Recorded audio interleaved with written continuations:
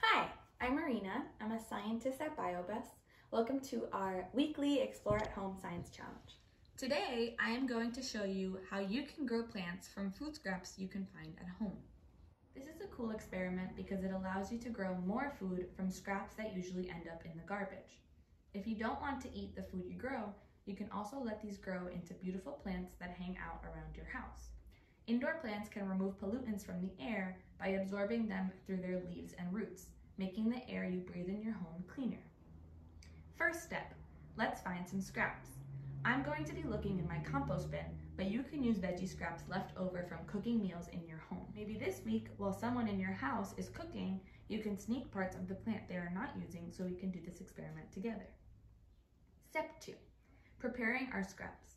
When we are preparing our food scraps, we want to focus on finding stems. You should ask an adult for help here because you might need to use a knife when trimming your plant scraps. For veggies, like different kinds of lettuce, cabbage, and celery, we want to focus on the bottom of our plant, where all the leaves grow from. But carrot plants stem from the top, not from the bottom. Scallions are easy because usually parts of the roots remain.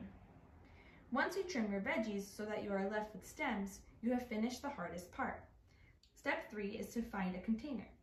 You can use glass or plastic containers from your recycling bin or kitchen containers like Tupperware and jars. Once you have your container, you can place your plant in a little bit of water, stick them on a windowsill or somewhere with lots of sunlight, and wait. You can measure the growth after a few days. For bonus growth, you can even transfer them into containers with soil once the roots grow in so that they can absorb nutrients. You can try this with a variety of vegetable scraps like garlic, ginger, and herbs like basil. Throughout the next few days and weeks, record your plant growth and submit your data on our Explore at Home website. I'm excited to see your results.